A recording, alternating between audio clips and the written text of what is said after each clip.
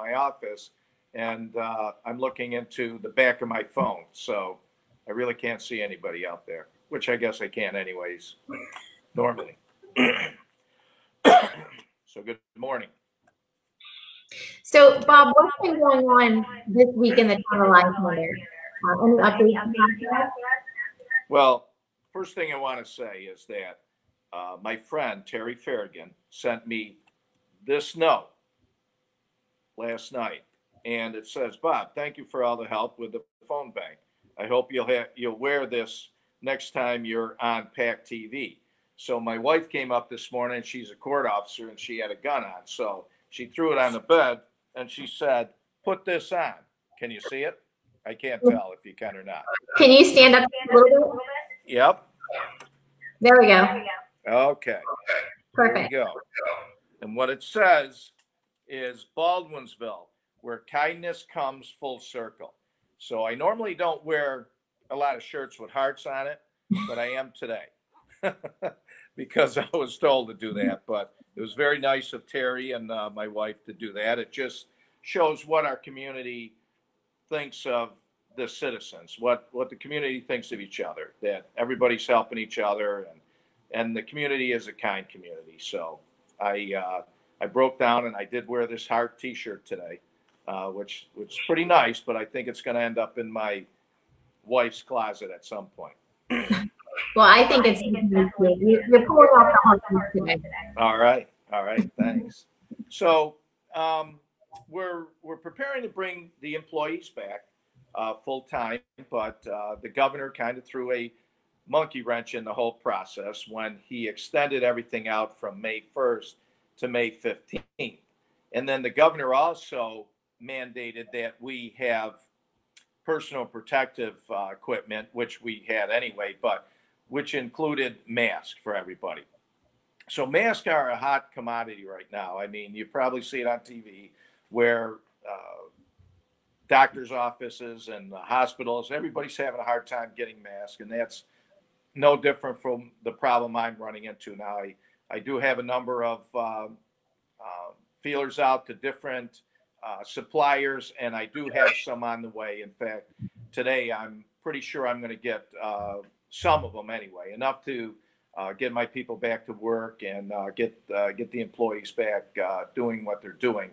But in order to do that, we we need that equipment. So the highway personnel and the parks department will be up and running next week. Now, when I say up and running, they're not going to be interacting with the public. They're just going to be doing their their normal stuff. The uh, the parks is really it's not going to we're not going to open up the park, but the employees are going to be going through mowing the lawns, uh, taking care of uh, things that uh, over the winter may have gotten beat up a little bit.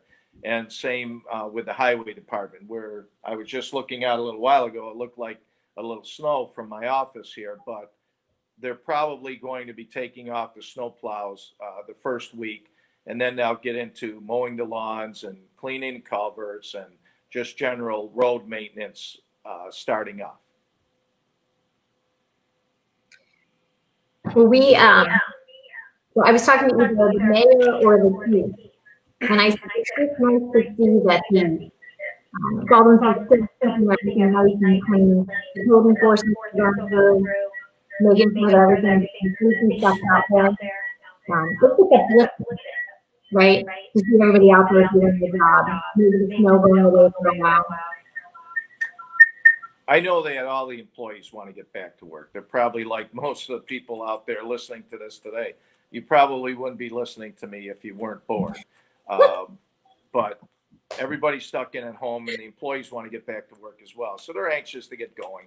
And yes, it is. It it gives us a sense of uh, normalcy when we can see things that we normally see on a daily basis. We see the highway department out. We see people on the streets. We see the parks open up. Uh, those things to, to get us back to uh, uh, some sort of normal uh, daily routine. I, I think that's good for everybody. Hey, Bob, how did the, um, the board meeting go? Doing it via Zoom? or doing it earlier than I found out. Okay, I couldn't hear you that well. I'm going to step away for a second and turn this up. Okay, go again. I heard board meeting. How did the board meeting go with doing it early and then planning it later? Um, I haven't really received any complaints from any citizens. Um, There's, we still don't have it open to the public, but we, we do it earlier so we can get it on uh, as soon as PAC-B can put it on. And I know they're, they're getting it on shortly after seven o'clock. So it seems to be, it seems to be working out fine for the board members and the other department heads that come in. I'm sure some of the citizens that normally show up would like to be coming in, but that's probably not going to be taking place for a little while. But we're still able to get our, our work done. And I know there's a lot of other uh, town boards that aren't even meeting. At least we're meeting to, so we're, we can get that interaction with each other.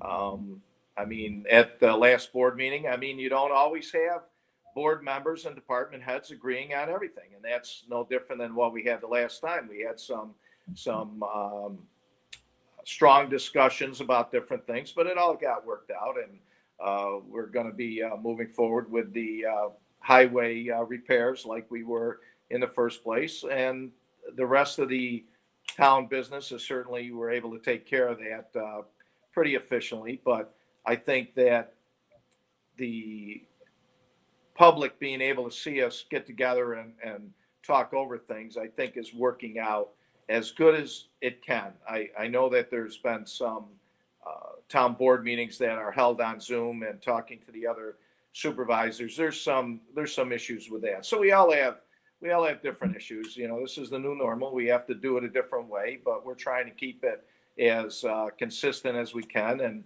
right now, there, none of us have been sick.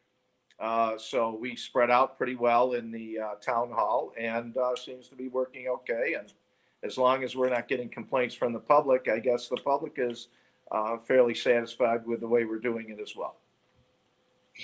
I've heard nothing but uh, really good things about the way that you yourself and your and the village. is doing. So, I think we appreciate what you're doing and how you're doing it.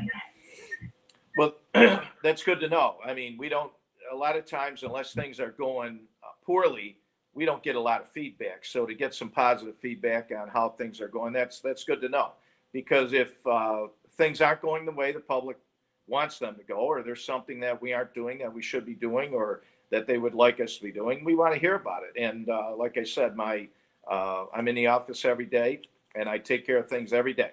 Um, we have the engineer in today. We have some issues going on now that building is, is kind of gearing up a little bit. So uh, we're going to have some uh, things that the engineer and the highway department have to take care of in our codes.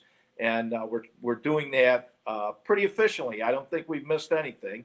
Um, construction isn't up and running 100% yet, but I think most likely by the end of May, it will be. So we will be up and running along with that. But um, that, that's good to know that people are satisfied with what we're doing. And if you aren't, give us a call.